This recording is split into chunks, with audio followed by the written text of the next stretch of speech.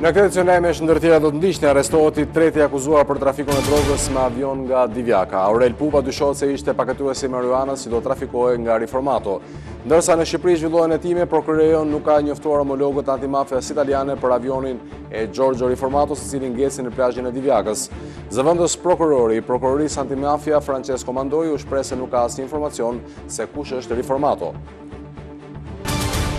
Debatet e forta politike mes palëve kundërshtare në parlamentin e Shqipërisë duket se nuk mjaftojnë dhe tashmë i kanë lënë vendin grushteve, deputeti demokrat Gent Strazimiri dhe socialisti Armando Prenga përplasen fizikisht me njëri-tjetrin në korridorin e kryesisë së Kuvendit ku zhvilloheshin komisionet parlamentare.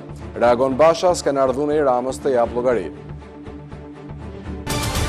A1 Report zbardh 5 shkresa përmes së cilave kryetarja e grevës së të larguarve nga administrata, Nertila Qafzezi, është paralajmëruar për pushim nga puna në kohën e Partisë Demokratike.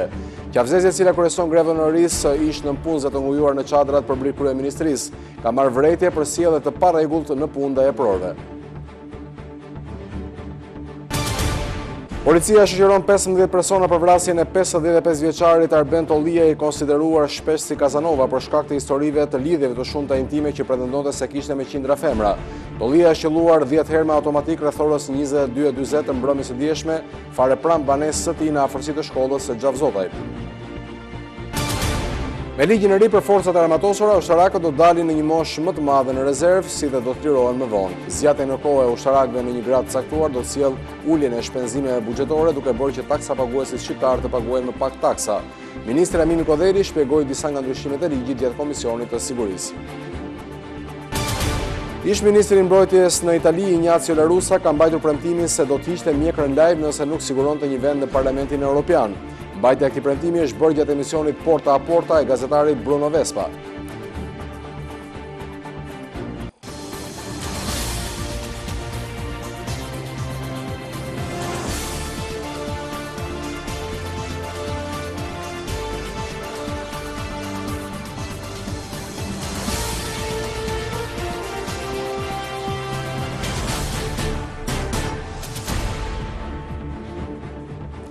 Përshëndetje të nderuar teleshikues, do të jemi së bashku në këtë edicion lajmesh. Prokuroria nuk ka njoftuar homologët e antimafias italiane për avionin e Giorgio Riformatos, i cili ngeci në plazhin e Divjakës në tentativë për të ngarkuar dhe trafikuar në Leçe 460 kg marijuanë.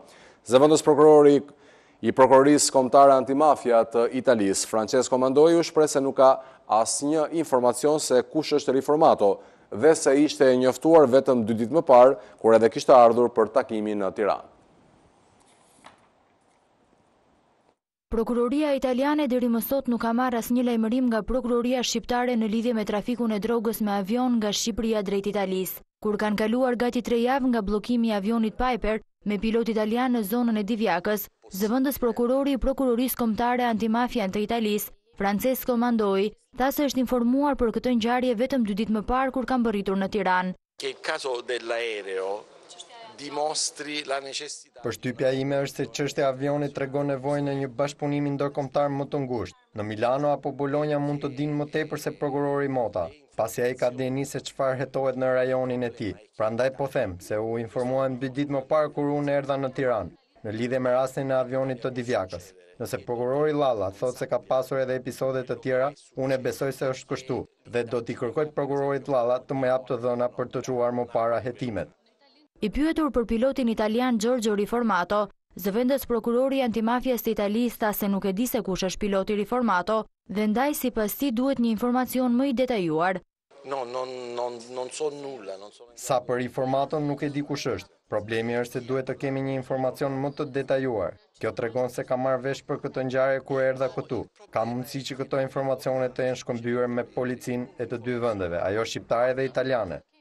Sa i përket trafikut të drogës nga Shqipëria drejt Italisë, Mandoi tha se ky është një problem i të gjithë vendeve të rajonit, jo vetëm i Shqipërisë që vjen sipas tij nga kriza ekonomike. Una riutilizzazione dei canali. Ideja ime është se ka një ripërdorim të kanalit të drogës, por jo vetëm të drogës dhe jo vetëm nga Shqipëria. Kriza që ka prekur vendet e rajonit ka risjellë nevojën për para në rrugë më të lehta, kështu që ky fenomen nuk është vetëm në Shqipëri, Fluksi është nga Greqia, Turqia, i takon të gjithë zonës së Mesdheut. Duke folur për shtetasit shqiptarë të kërkuar nga drejtësia italiane dhe që në Shqipëri gjykata nuk i ekstradon, Mandoi u shpreh se vendimi i takon gjykatave, por pala italiane deri më tani nuk ka informacion për abuzime me ekstradimet. Ndërsa për sekuestrimin e aseteve kriminale në Shqipëri të personave që janë kapur në Itali, zëvendës prokurori i antimafias italiane tha se legjislacioni është ai i duhuri, ndërsa kërkoi që informacionet që vijnë nga Shqipëria të jenë më të detajuara. Këto deklarime Mandoi i bëri në ditën e dytë të takimit rajonal të prokurorive të rajonit, ku tema kryesore ishte integrimi në Bashkimin Europian. Prokuroria e Krimeve të Rënda arreston paketuesin në Lushnjë të marijuanës që do të trafikohej me avion nga Divjaka. Arrestimi i Aurel Pupës e çon në tre numrin e personave të vënë në pranga së bashku me korrierin Samir Bajrami dhe pilotin italian Giorgio Riformato. Prokuroria e Krimeve të Rënda ka arritur deri tek paketuesi i katërqind e gjashtëdhjetë kilogramëve të marijuanës, që do të trafikoheshin me avion nga Divjaka për në Itali, por ende nuk ka rënë në gjurmët e kultivuesve që ia shitën korrierit Saimir Bajrami. Aurel Pupa, nga lagja njëzet tetori në Lushnjë, është arrestuar në bazë të një urdhër arresti të Krimeve të Rënda, si personi që ka paketuar drogën. Sipas burimeve, Në mbështjelljet e natribanit janë fiksuar gjurmë të gishtërinjve të Pupës. Arrestimi është ekzekutuar në fundjavë, por është mbajtur sekret si nga policia edhe nga prokuroria. Në dhjetë maj, në plazhin e Divjakës u dëmtua teksa ulej një avion tip Piper që drejtohej nga piloti italian Giorgio Riformato. Në të njëjtën zonë u sekuestruan katërqind e gjashtëdhjetë kilogramë marijuanë dhe u arrestua korrieri Bajrami. Kjo konsiderohet si tentativa e parë e regjistruar për trafikimin e drograve nga Shqipëria me avion në drejtim të Italisë dhe vendeve të tjera të Bashkimit Evropian. Prokuroria e Krimeve të Rënda ka tashmë tre të arrestuar për tentativën e trafikut, ndërsa hetimit i mungojnë pjesë të rëndësishme që janë ende të pazbardhura. Për hetuesit mbeten mister personat e një automjeti tjetër që transportonte drogën bashkë me Bajramin. Dhe nëse ky i fundit konsiderohet korrier, prokurorët nuk kanë arritur ende tek organizatorët e rrjetit dhe personat që kanë kryer kultivimin dhe grumbullimin e drogës që nëse do të mbërrinte në Leçe, do të kapte vlerën e mbi pesëqind mijë eurove. Deklarata e deputetit demokrat Gent Strazimiri në Komisionin e Ligjeve gjatë një seance për Këshillin e Lartë të Drejtësisë ka çuar në përplasje fizike mes tij dhe deputetëve socialistë Xhemal Qefalia e Armando Prenga. Kur deputetët Strazimiri dhe Qefalia kanë dalë jashtë komisionit, mësohet se Qefalia i ka kërkuar deputetit demokrat të mos i përmendte emrin, vërejtje kjo që është bërë shkak për përplasjen fizike mes dy deputetëve ku ka ndërhyrë më pas edhe deputeti socialist Armando Prenga. Debatet e forta politike mes palëve kundërshtare në Parlamentin e Shqipërisë duket se nuk mjaftojnë dhe tashmë i kanë lënë vendin grushteve. Deputeti demokrat Gent Strazimiri dhe ai socialist Xhemal Qefalia janë konfliktuar me njëri-tjetrin në korridorin e Kryesisë së Kuvendit, ku zhvilloheshin komisionet parlamentare. Por konflikti ka degjeneruar më tej në momentin që socialisti Armando Prenga ka ndërhyrë duke hequr rripin e pantallonave. Teksa në sallën e Komisionit të Ligjeve raportonte Ministrja e Mbrojtjes, Mimi Kodheli, dy deputetët, Strazimiri i Partisë Demokratike dhe Qefalia i Partisë Socialiste, janë konfrontuar fizikisht me njëri-tjetrin në derën e tualetit të Kryesisë së Kuvendit. Shkak për këtë përplasje fizike është bërë ironia e deputetit demokrat, Gent Strazimiri, teksa më herët raportonte ministri i Drejtësisë Nasip Naço për funksionimin e Këshillit të Lartë të Drejtësisë në seancë të thirrur nga Armando Subashi. Zakonisht në të tilla raste, Ëh, kur Komisioni i Ligjeve ngarkon Armandon të thrasë dikë për punë problematike, historia konkludon që caktohet Xhemali me Pirron të venë të bëjnë një inspektim atje, pastaj bëhet një peticion nga masat që të shkarkohet dhe është shkarkuar. Rasti i Zana Xhukës. E shikoni si zgjidhje këtë që të shkojë në KLD Xhemali me Pirron të bëjnë një inspektim, pastaj të vijë një fletrufe nga populli dhe të shkarkohet KLD-ja? Zoti Strazimiri, kjo është si... Pyetja është kjo, serioz nuk jeni ju. Si ajo kërkesa që keni sjellë ju në... Përpjekje për ta vendosur në seriozitet këtë mbledhje po bëj. Si ajo kërkesa që keni sjellur ju për grup, grup kontrolli punëtor tek Ministria e Brendshme për gjoba. Silleni, silleni atë kërkesën, se do ta shqyrtojmë këtu. Grup kontrolli punëtor ne nuk bëjmë dot se e keni ju përracë. Jo, jo, e keni, e keni sjellë, e keni sjellë, e keni aty. Por deputeti socialist Xhemal Qefalia, i cili është shkëputur për pak momente nga mbledhja, është njoftuar me telefon që Strazimiri e ironizoi në Komisionin e Ligjeve. Mësohet se Qefalia në ato momente ka qenë në tualet dhe vetëm pak momente më pas në derën e tualetit të kryesisë është shfaqur edhe deputeti Strazimiri. Socialisti është përgjigjur me shuplakë, ndërsa ka marrë mbrapsht një grusht nga Qefalia. Pas kësaj, kolegu i majtë i Qefalisë, Armando Prenga, ka përfunduar duke rrahur me rripin e tij të pantallonave Gent Strazimirin. të cilin mësohet se e ka shtrirë në tokë, ka qenë kryetari i grupit socialist Gramoz Ruçi, ai që ka ndarë palët dhe ka marrë në mbrojtje deputetin demokrat Gent Strazimiri. Për disa momente ky i fundit ka ndenjur në zyrën e Ruçit, ku mësohet se kreu i grupit të Partisë Socialiste i ka thënë të ikë dhe të qetësohet. Ndërsa deputeti demokrat Kastriot Islami mësohet të jetë shprehur duke bërtitur në korridorin e kryesisë së Kuvendit, se i ka çuar Rama për ta rrahur. Ndërsa të gjithë deputetët e mazhorancës janë rikthyer më pas, bashkë me deputetin Fatmir Mediu në Komisionin e Ligjeve për të ndjekur raportimin e ministres së Mbrojtjes Mimi Kodheli, në këto pamje, duket qartë se xhaketa e deputetit socialist, Armando Prenga, e cila ishte grisur në krahun e majtë, dhe rripi i pantallonave i fokusuar në xhepin e tij. Deputetët e opozitës pas sherrit janë larguar nga komisioni i cili vazhdoi më tej me miratimin e projektligjeve. Por pas përfundimit të seancës së komisionit të ligjeve, vetë deputeti Xhemal Qefalia nuk ka dashur të prononcohet në lidhje me këtë çështje.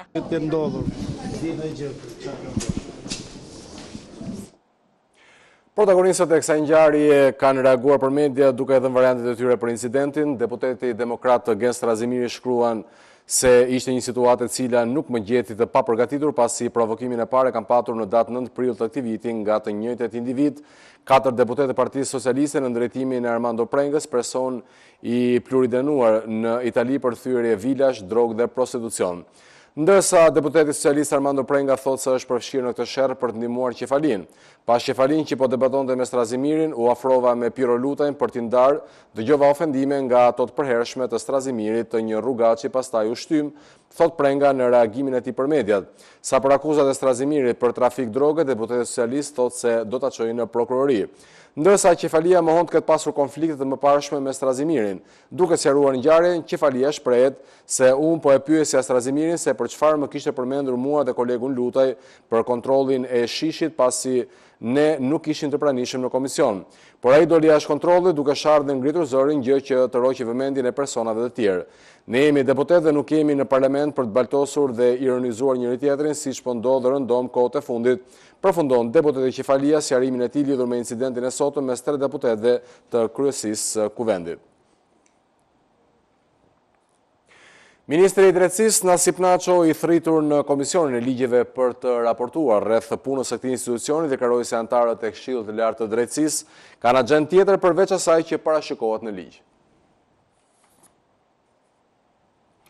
Këshilli i Lartë i Drejtësisë ka probleme të shumta dhe situata gjatë katër viteve të fundit nuk është përmirësuar, por përkundrazi është përkeqësuar. Këtë e ka deklaruar ministri i Drejtësisë Nasip Naço i thirrur në Komisionin e Ligjeve për të raportuar rreth punës së këtij institucioni nga deputeti socialist Armando Subashi. Naço u shpreh ndër të tjera se anëtarët e Këshillit të Lartë të Drejtësisë kanë axhendë tjetër përveç asaj që parashikohet në ligj. Aktualisht, nga njëzet e nëntë gjykatat e shkallës së parë, Njëzet e tre kryetarë të gjykatave ushtrojnë detyrën në kundërshtim me ligjin dhe vetëm gjashtë prej tyre, duke shtuar edhe katër të tjerë muajt e fundit që janë emëruar, drejtohen nga kryetarë të emëruar me vendim të Këshillit të Lartë të Drejtësisë dhe janë brenda mandatit katërvjeçar, pra vetëm dhjetë nga njëzet e nëntë. Janë jo më pak se njëzet procedime që presin të gjykohen nga Këshilli i Lartë i Drejtësisë. Dhe ato dy tre që janë futur dhe nesër në rendin e ditës i kanë kaluar radhën pra janë futur ato të fundit janë lënë ato të disa muaj apo viteve më parë çka tregon për një mungesë efiçence, përgjegjshmërie dhe integriteti të Këshillit Lartë të Drejtësisë. Por opozita e ka quajtur të gjithë këtë një farsë, përmes deputetit Eduard Halimi, i cili ka mbajtur më parë postin e ministrit të Drejtësisë, KLD-së po i bëhet gjyqi dhe si dëshmitar është thirrur ministri. Nuk thirret ministri si dëshmitar Ta thërrasim ministrin apo të përdorim dhe dëshmitarë të tjerë, lart e poshtë, për të artikuluar të njëjtat akuza që bënit ju kur ishit në opozitë. Ky sulm vazhdon me, është në vazhdim të sulmit që i bëhet gjyqtarëve të shkallës së parë e të apelit, sulmit që i bëhet sot dhe gjithë ditën edhe në vijim Presidentit të Republikës dhe përpiqemi ta veshim këtë me dëshmi në mënyrë që të kalojmë tek ajo devizë që ne kemi për të sulmuar dhe për të shkatërruar dhe për të marrë nën sqetull, siç po marrim institucionet një nga një dhe të marrim edhe sistemin gjyqësor. Ndërsa, deputeti i Lëvizjes Socialiste për Integrim, Ulsi Manja, e ka quajtur Këshillin e Lartë të Drejtësisë si një parti politike dhe se duhet reformuar sa më parë. Këshilli i Lartë i Drejtësisë në Shqipëri është parti politike. Po të doni emrin e partisë, Është partia politike e liberalëve të djathtë. Për kreun e Komisionit të Ligjeve, Fatmir Xhafajn, i cili citoi edhe ish-shefin e misionit Euralius tre, situata në drejtësi është mjaft problematike dhe për këtë arsye kërkohet ndërhyrje e shpejtë. Televizioni A një Report ka zbardhur disa vendime që rëzojnë qëndrimin e kryetares së shoqatës së të larguarve nga administrata Nertila Qafzezi. Në këto shkresa, Qafzezi rezulton se ka 5 paralajmërime për largimin nga puna në pjesën më të madhe gjatë qeverisjes së Partisë Demokratike. E ndërsa greva e urisë së Shoqatës së të Larguarve nga Administrata vazhdon prej ditësh, televizioni A Një Report ka arritur që të zbulojë disa vendime që tregojnë se kryetarja e shoqatës Nertila Qafzezi ka patur plot pesë paralajmërime për largim nga puna, tre gjatë periudhës që vendi drejtohej nga koalicioni i djathtë dhe dy pas zgjedhjeve ku fitoi e majta. Dokumentet tregojnë qartazi se Qafzezi është punësuar gjatë vitit dy mijë e nëntë dhe më konkretisht në qershor, por edhe pse me një eksperiencë të shkurtër, ajo ka marrë menjëherë disa masa disiplinore dhe paralajmërime për përjashtim nga puna nga drejtorët demokratë. Shkresa e parë vjen vetëm pak muaj pas punësimit dhe ka datën e dymbëdhjetë tetorit dy mijë e nëntë, ku Qafzezi me urdhër të drejtorit Thoma Miço, i jepet masa vërejtje me paralajmërim Me motivacionin e mosrealizimit të detyrave të ngarkuara, masa e dytë mban datën dymbëdhjetë mars dy mijë e dymbëdhjetë, ku drejtori Arjan Kokona kërkon që ndaj Nertila Qafzezit, specialiste në sektorin e punësimit, të vendoset masa vërejtje, me motivacion sjellje e parregullt gjatë kohës së punës me eprorët, kolegët, vartësit dhe publikun. Por nuk mbarojnë me kaq masat disiplinore. Një tjetër daton në katërmbëdhjetë nëntor dy mijë e trembëdhjetë, me firmë të drejtorit Fatjon Dhuli, Motivacioni është thuajse i njëjtë me të tjerat, ku ka vërejtje me paralajmërim me largim nga puna, ku Qafzezi është konstatuar se ka shkelur për të disajtën herë etikën e punës. Të gjitha këto shkelje janë të protokolluara dhe tregojnë se sjellja e zonjës Qafzezi me institucionin ku ka punuar ka qenë jo korrekte dhe shpeshherë në shkelje të normave të etikës. Policia gjatë natës së të hënës deri në mëngjesin e të martës ka shoqëruar 15 persona për vrasjen e Arben Tollisë, personin e etiketuar si Kazanova për shkak të pretendimeve për marrëdhënie të shumta intime. Tollia kishte dy javë që ishte liruar nga burgu i dënuar për përdhunime dhe hakmarrje për shkak të marrëdhënieve intime që shpesh i realizonte me presione dhe mashtrime janë pistë kryesore e hetimeve për vrasjen.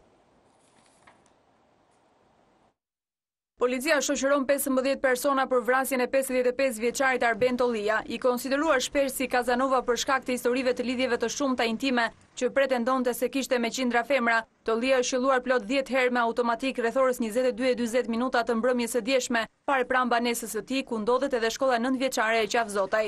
Ngjarja vinte vetëm dy javë pas lirimit të tij nga burgu, ku kishte shlyer dymbëdhjetë vite për kryerje të marrëdhënieve seksuale me dhunë. Kjo është njëra pistë e hetimit sipas policisë, ndërsa pista tjetër ka të bëjë me lidhjet e dyshuara mes Tollisë dhe grupeve kriminale të Durrësit dhe Shijakut. Të shoqëruarit mësohet të jenë banorë të zonës ku jetonte Tollia, por edhe persona që lidhen me konfliktet dhe lidhjet intime të tij. Pesëdhjetë e pesë vjeçari ka dalë nga burgu në datën njëmbëdhjetë maj, ku ai ka shlyer dymbëdhjetë vite për përdhunim. Tollia ishte arrestuar në vitin dy mijë e pesë për marrëdhënie seksuale me dhunë, ndërsa prokuroria administroi kallëzimet e pesëmbëdhjetë femrave. Tollia i fuste në kurth femrat dhe pasi kryente marrëdhënie seksuale me to, i fotografonte dhe regjistronte duke u bërë presione. Femrat ishin kryesisht nga Tirana, Durrësi dhe Elbasani dhe kryesisht studente. Në njëzet e gjashtë prill dy mijë e gjashtë nisi gjykimi dhe pas tridhjetë e tetë seancave u dënua me shtatëmbëdhjetë vite burg dhe tre milion lekë gjobë. Në fund të procesit njeriu i dyshuar se kishte futur në kurth dhe shkuar me mbi njëqind femra, u dënua nga kallëzimet e vetëm dy prej tyre. Gjykimet në Gjykatën e Apelit dhe Krimeve të Rënda e zbritën dënimin në dymbëdhjetë vite burg, por edhe burgu nuk e mbajti larg problemeve dhe manisë për të mashtruar dhe përdhunuar. Mbante kontakte me anë të telefonave që kishte patur në burg madje edhe në rrjete sociale në internet, duke fshehur se cili ishte në të vërtetë dhe faktin se ndodhej në burg. Në janar të këtij viti, ndërsa kishte dalë me leje nga burgu, Tollia u akuzua se kishte mashtruar dhe kryer marrëdhënie kundër dëshirës me një vajzë, e cila pasi mësoi se kush ishte përdhunuesi i saj, u tërhoq nga kallëzimi.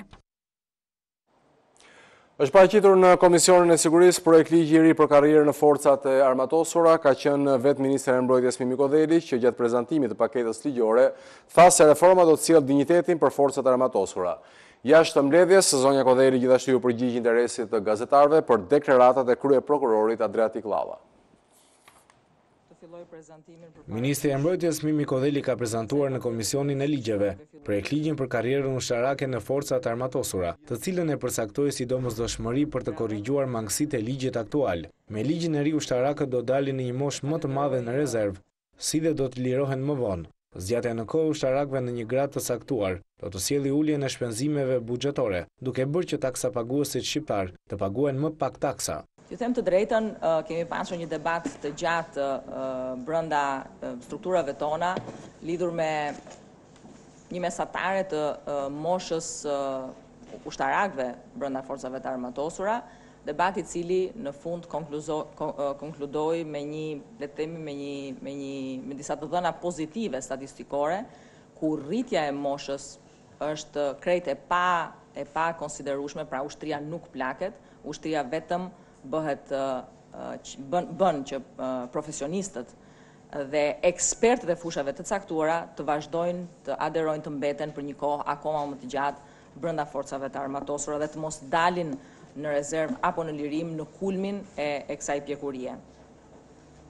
Duke u kthyer dhe një herë çështjes dinjitetit, që për hir të vërtetës ka qenë i cënuar në radhët e forcave të armatosura, nëpërmjet këtij projektligji synojmë të sjellim një moral të ri, në Forcat e Armatosura, bazuar në meritë, bazuar në profesionalizëm, bazuar në performancë. Por deputetët e opozitës ngritën shqetësimin e trafikut të mundshëm të drogës me avion, duke i kërkuar informacion ministres. Por zonja Kodheli nuk dha asnjë koment, ndërsa në përfundim të mbledhjes e pyetur nga gazetarët, Kodheli tha se nëse prokurori Llalla ka prova për Gjadrin, atëherë duhet t'i publikojë. I pranishëm në Komisionin e Sigurisë, ishte edhe shefi i Shtabit të Përgjithshëm të Forcave të Armatosura Jeronim Baze, i cili tha se ky projektligj ruan ekspertizën në grada të larta, duke e ngritur në karrierë më larg dhe duke shmangur daljet e kësaj ekspertize në moshë pjekurie.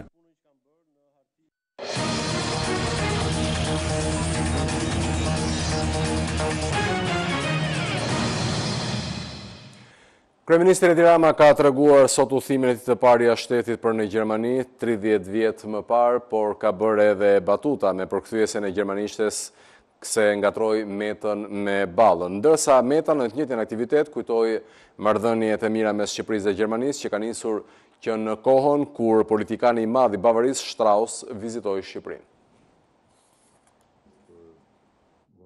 Kryeministri Edi Rama ka treguar sot udhëtimin e tij të parë jashtë shtetit për në Gjermani tridhjetë vite më parë me ekipin e tij të basketbollit të drejtuar nga trajneri Borova, udhëtim që përkonte me ardhjen për herë të parë në Shqipëri të politikanit gjerman Strauss. Kryeministri doli nga kornizat e formalitetit dhe la mënjanë fjalimet, duke bërë shaka me kryetarin e Kuvendit, që i kishte thënë se nuk ishte e nevojshme të mbante fjalim zyrtar, por edhe me përkthyesen e gjermanishtes, që fjalët e tij pa dashje ia drejtoi Ballës dhe jo Metës. Ma dha shtysën kryetari duke kujtuar tridhjetë vjet më parë vizitën e Shtrausit në Shqipëri, sepse me atë vizitë përkoi edhe dalja ime për herë të parë jashtë shtetit, sepse pak muaj më pas ardhjes së Strausit, skuadra kombëtare e basketbollit të Shqipërisë shkoi në Gjermani për një ndeshje për kampionatin. Ich bin heute eigentlich, ich habe heute keine Rede vorbereitet und das das ist vielleicht ein gutes Glück für diejenigen die keine langen Reden. Sapo thosha që shyqyr që s'di gjermanisht që të mërzitem me përkthyesen, po ishte fjala për Herr Metën, jo për Herr Ballën. Kreu i Kuvendit të Shqipërisë që hapi ceremoninë e inaugurimit të grupit parlamentar të miqësisë shqiptaro-gjermane, tha se në këtë grup aderojnë mjaft personalitete. Sot, tha ndër të tjera Meta, jemi të lidhur ngushtë me Gjermaninë, si anëtarë të NATO-s, por edhe në procesin e integrimit në Bashkimin Europian. Në gusht bëhet tridhjetë vjet nga koha kur Politikani i madh i Gjermanisë dhe i Bavarisë, Franz Josef Strauss, vizitoi Shqipërinë. Sot kur flitet midis shqiptarëve për këtë temë apo për marrëdhëniet me Gjermaninë, gjithmonë thuhet ah si nuk u lidhëm që atëhere me Gjermaninë, kur erdhi Straussi. Sepse vërtet ka qenë një mundësi e shkëlqyer për Shqipërinë për të hyrë në rrugën e tranzicionit edhe të progresit. Natyrisht që ne sot jemi të lidhur shumë ngushtë me Gjermaninë, edhe në planin bilateral, edhe në NATO, por edhe në, si anëtarë të NATO-s, por edhe në procesin tonë të integrimit europian. Do të shkojmë tani drejtpërsëdrejti sërish në ambientet e grevës së urisë, ku i ka vizituar ish kryeministri Sali Berisha, e ndërsa në këto momente po jep një prononcim për mediat. Tek këta burra dhe gra, Spikat një vetëmohim i jashtëzakonshëm për një çështje të madhe, për një çështje e cila në fakt lidhet në shumë mënyra me jetën e çdo qytetari shqiptar. me veprimtarinë e tij. Punonjës të shërbimit civil që janë sot në ditën e tetë të grevës më të ashpër që unë kam pa ndonjëherë. Të cilët po vetëflijohen. duke mbrojtur interesat e mbi tetë mijë punonjësve të hedhur të flakur me një egërsi dhe urrejtje patologjike nga klika Rama-Meta në pushtet. Po mbrojnë interesat e familjeve Të tetë mijë, mbi tetë mijë punonjësve, të cilat janë sot ndofta dhe pa bukë, për fajin e vetëm se klika në pushtet urren prindërit e tyre për funksionet që kanë kryer, për shërbimet që i kanë bërë vendit dhe kombit. Janë këta punonjës që po mbrojnë këtu interesat e çdo qytetari, i cili kërkon një administratë në përmirësim të vazhdueshëm. me shërbime gjithnjë më të qytetëruara, më të shpejta dhe më transparente, sepse këta janë zëvendësuar nga në tërësinë e vet nga anëtarë të Aleancës së Qelbësirave. Siç u shpreh vetë, siç, siç u shprehen vetë, siç u shpreh vetë Aleanca e një Prillit, aleanca e cila pasi u krijua me një Prill, bëri thirrje qelbësira të të gjitha llojeve bashkohuni për të përmbysur Berishën. Sot, sot shqiptarët,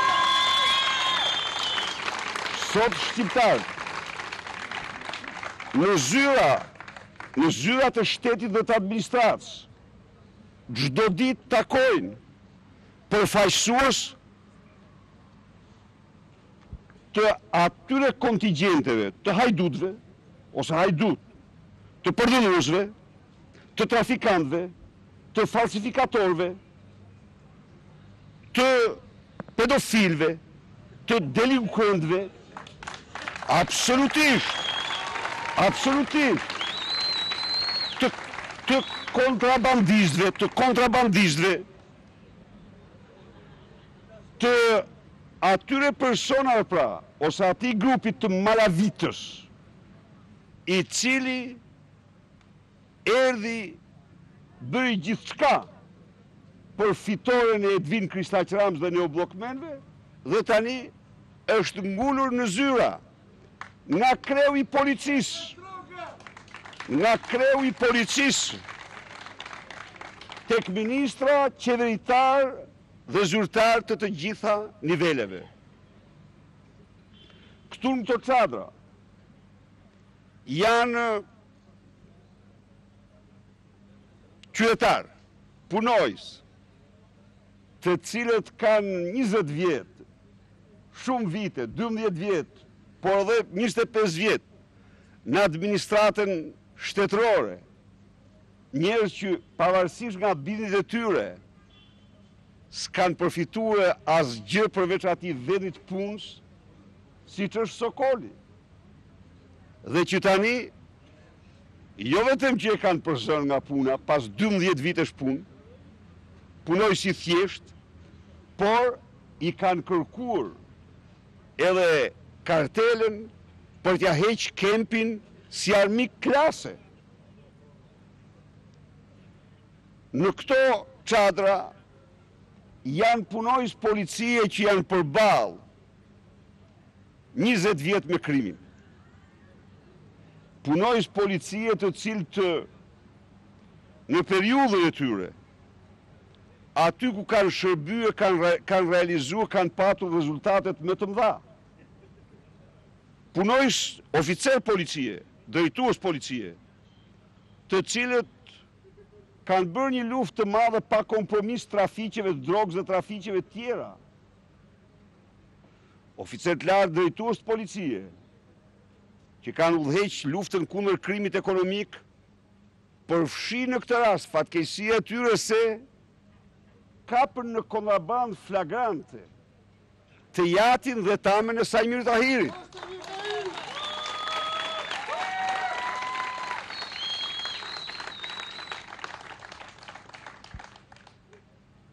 Pra, siç e shihni, këta punonjës, këta qytetarë, po flijohen këtu në mbrojtje të vlerave, se çfarë ndodhi me largimin e këtyre policëve.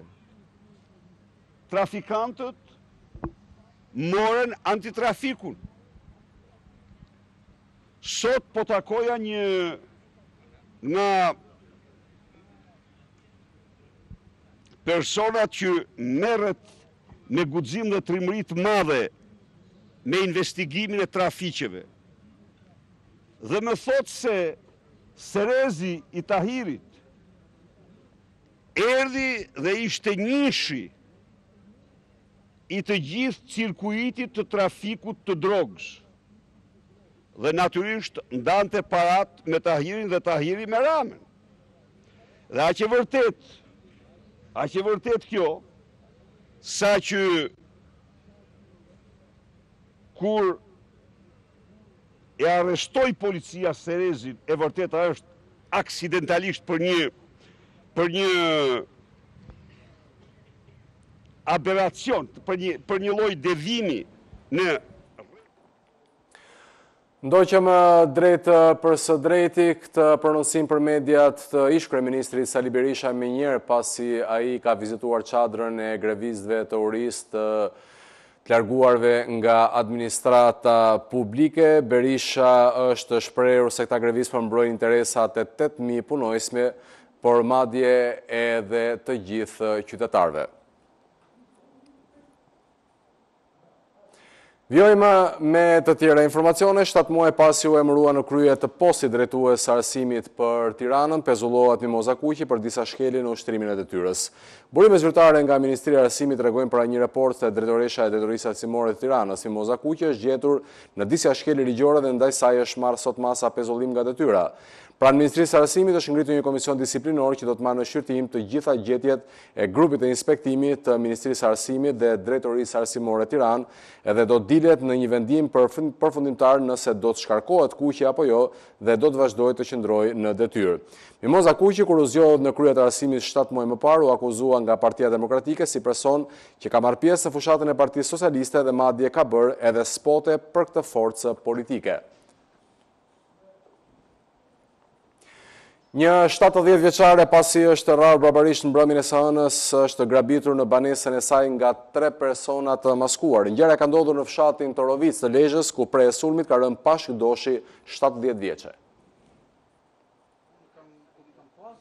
Një e moshuar është grabitur dhe rrahur barbarisht në banesën e saj nga tre persona të maskuar në fshatin Torovicë të Lezhës. Pashkë Doshi, 70 vjeçe, rrëfen tmerrin që ka përjetuar, ndërsa në fytyrë dallohen qartë shenjat e dhunës. Dikush me nerv më kapi për kamët ishte, dikush për kret, për krahët e më grehën e më shtinë mbrenda. Atje më kanë ulë, atje më kanë ra.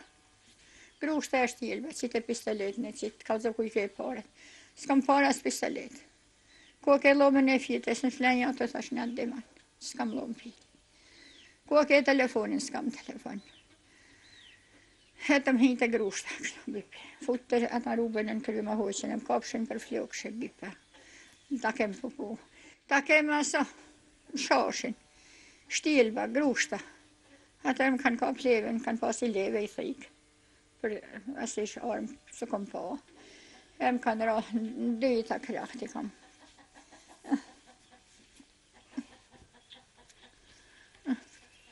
E më kanë shkatërru, e të në dy kërë. Eh, a me lëshoni burra, a me lëshoni burra. Lidhur me ngjarjen, policia e Lezhës bën të ditur se ka ndaluar dy persona të dyshuar, Tomi Ujka, 31 vjeç dhe Sidor Marku, 22 vjeç, si dhe ka shpallur në kërkim një të tretë. Ecim më tej, tifozët e klubit të futbollit Tirana kanë protestuar sërish përpara bashkisë së kryeqytetit duke kërkuar një zgjidhje për vështirësitë financiare ku gjendet ekipi i tyre i zemrës, ndërsa duke i premtuar se së shpejti do të ketë një zgjidhje. Kreu i bashkisë Lulzim Basha pak çaste përpara protestës takoi disa prej tifozëve.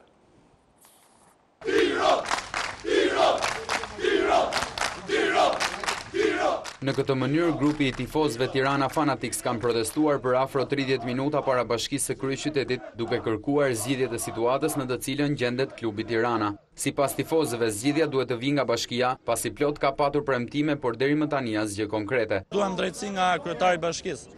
Se ka tre vjet që ka marrë pushtetin edhe thjesht drejtësi. Faleminderit. Tre vjet çfarë ndodh me klubin e Tiranës?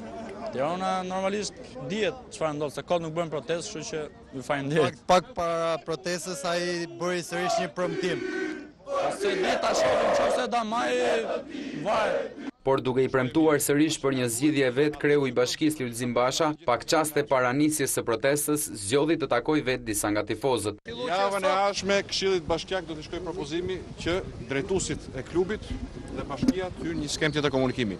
Javën e ardhshme kur të jetë mbledhja e këshillit, të vini, ta dëgjojnë dhe zërin tuaj. Unë do ta çoj propozimin, por duhet dhe mbështetja juaj. Prej disa kohësh klubi i futbollit Tirana gjendet në vështirësi ekonomike, ndërsa ende nuk ka një plan nga bashkia e kryeqytetit si zotërues i klubit dhe aseteve të tij se çfarë do të bëhet dhe nëse do të ketë një zgjidhje financiare, qoftë edhe privatizim, siç ka ndodhur me klubet e tjera të futbollit.